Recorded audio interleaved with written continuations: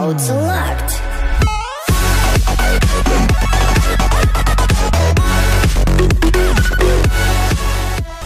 Welcome back, Spartans. Today we are doing gemming our level 34 queen to level 35. Pretty awesome. Now, guys, you know I've been farming my heroes to max, and obviously here's the war I was in, and I definitely was not doing so hot. I needed my queen, so guys, I just failed this raid on the number two guy, and I was like, screw it, I need my queen.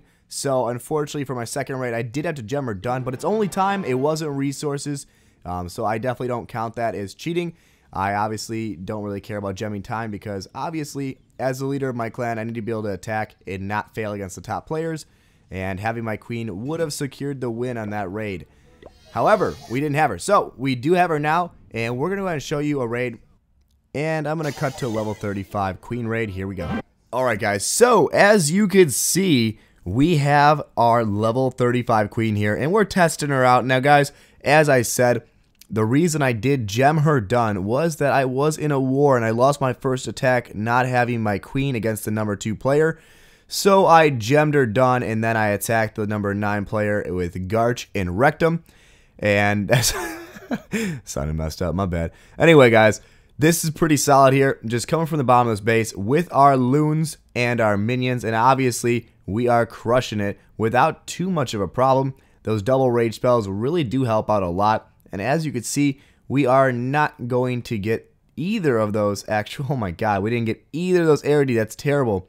But not a big issue, we're not going for that. We're going for 50%, and a lot of our minions are distracted by the level 32 Queen, unfortunately. But here come our heroes, King and Queen are down, we're going for the Town Hall. Can we get it? That's the real question. It's going to be close. Now, I could have dropped a couple minions on the outside, but I cleared out most of the buildings.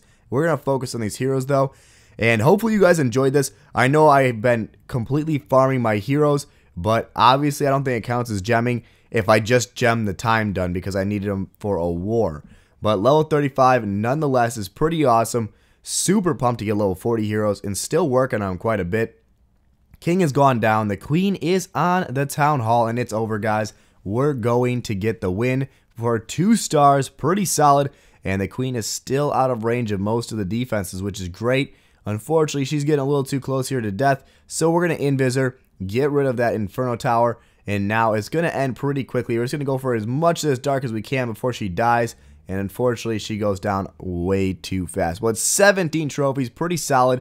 And on screen, we're going to be pulling up an awesome raid by Gorilla Man. He's in charge of the Clash of Clans wiki, and he is also going to be doing his first raid ever that gets him to champions. So he's never been a champions before, and here's the raid that does it. It's really awesome. So I recorded it. Want to give him a little bit of shout out.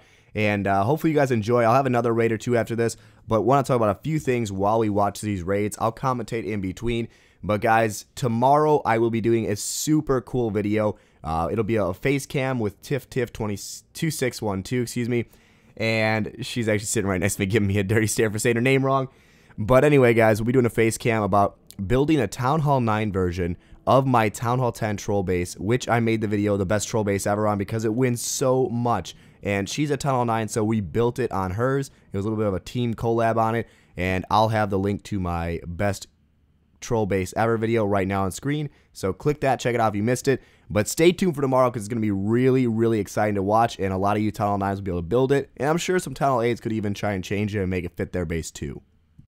So, as we can see here, Gorilla Man has gotten the 54%, and he got the Town Hall, so he's already winning. And as you can hear, my Clash of Clans loading up. I'm trying to play and commentate at the same time. You know what's up, guys. And here we go. His king and queen are down. He put him a little bit out of range, but in order to get through this wall, he kind of bunched them together, which I think was a mistake. I'd have split the king and queen up on opposite sides of the base, uh, but he does do a very good job here. As you can see, he does go ahead and rage the king in a couple seconds, I believe. I think, yep, there he is. All right, so the king is raged, and he's going to clear this center. Now, it does get a little irritating in a few seconds. You're going to see why.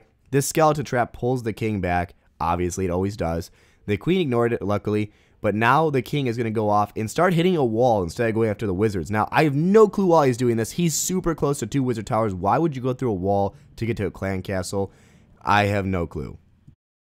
He did, however, leave his queen out to dry there and take a bunch of hits from the wizards and mortar. And that is unfortunate because now she's pretty injured and she's going to have to go invis in order to survive. So we can see here, the king still work at the wall. The queen goes invis and destroys the Tesla. Now, the king has nothing to do, so he goes through the wall anyway, and now decides to go for another wall. He has been completely useless this raid. The queen is doing everything. Now look at this. He's still working on this wall, and the queen is already destroyed the building behind it. I have no idea why they're being so stupid. Um, he should be targeting off and walking around, or I have no clue. But going through a double wall is just ridiculous to get to a building. Anyway, the queen's to go through an actual wall. She's actually to get through the wall before the king does. And now the king finally stops in the wall right when he's about to go through it and decides to go through the opening.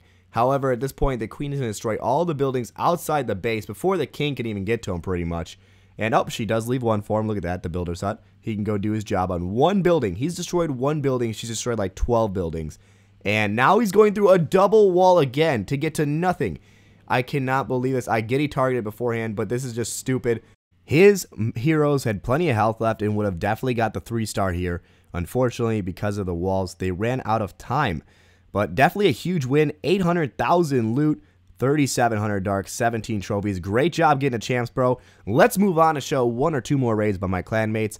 And these are just going to be like interesting raids I pulled out of the clan chat. Nothing too crazy. This wall layout really does mess up your wall breakers, as you can see. And uh, it's unfortunate because it makes it so that they are kind of just walking right into all the fire from the cannons and archers. And now he's going to drop down his golems. Unfortunately, no more of his wall breakers are alive, so he can't even wall break in. But he's going to do a solid job either way on this raid.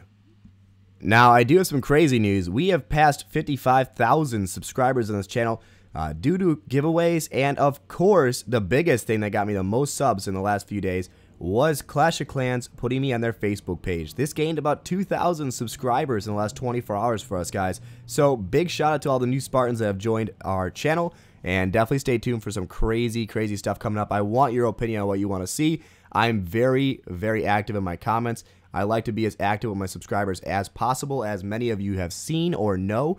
So definitely get in touch with me. And I'll probably be doing a meetup real soon in Chicago. Um, if you guys have any feedback on that, definitely be involved in my 55K video that I'm posting. I think, I don't know, maybe Friday or Saturday. I'll post that, and that will be really, really interactive.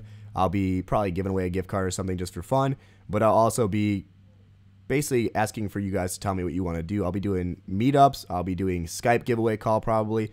Who knows? Be a lot of cool stuff though. It'll be fun. Some high loot raids. And I know I'm going to be working with Godson and a few other YouTubers in the next few weeks here, and that'll bring a lot more new subs to this channel. So huge things planned. Very excited for the future. I hope you guys are too.